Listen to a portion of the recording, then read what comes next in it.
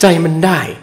พลเมืองเช็กลงขันซื้อรถถังที่ 72 ช่วยยูเครนรบกับปูติน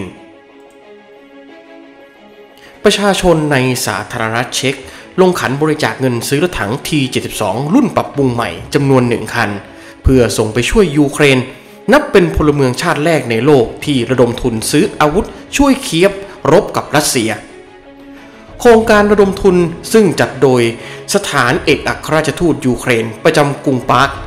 สามารถระดมเงินบริจาคได้มากถึง 33 ล้านโครูนาหรือราวๆ 50 ล้านบาท เมื่อวันจันทร์ที่ 3 ตุลาคม โดยมีประชากรเช็กรวมลงขัน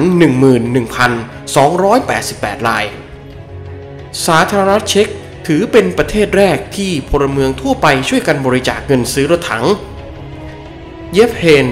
เปเรฟยีนิส รัฐมนตรีช่วยว่าการกระทรวงการต่างประเทศของยูเครน แถลงการผ่านทวิตเตอร์ส่วนตัวของเขาสำหรับรถถัง T72 Avenger นี้เป็นรถถังยุคโซเวียตที่ถูกนำมาปรับปรุงใหม่ระบบป้องกัน และเสริมอุปกรณ์ในด้านการสื่อสาร และการมองเห็นในเวลากลางคืน แคมเปญระดมทุนผ่านเว็บไซต์ ยังคงเปิดรับบริจาคอย่างต่อเนื่อง เพื่อหางบประมาณในการจัดซื้อ เครื่องกระสุนต่อไป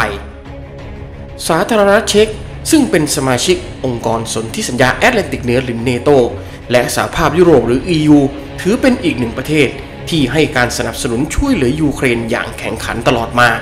โดยสถานทูตยูเครนระบุว่า จนถึงปลายเดือนกันยายน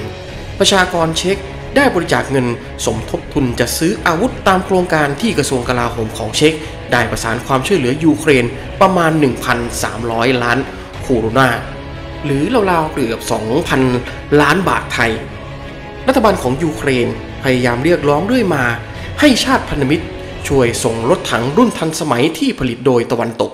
ไปช่วยกองทัพยูเครนในการขับไล่ทหารของรัสเซียให้ออกจากพื้นที่ที่ยึดครองทางภาคใต้และภาคตะวันออก แต่ทว่าหลายๆ ประเทศยังคงสงวนท่าทีอยู่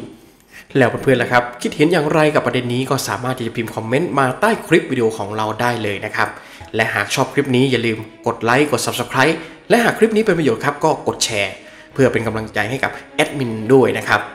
เจอกันใหม่คลิปหน้า ขอบคุณที่รับชม และขอบคุณที่ติดตามช่องของเราอย่างเสมอมาสำหรับคลิปนี้ สวัสดีครับ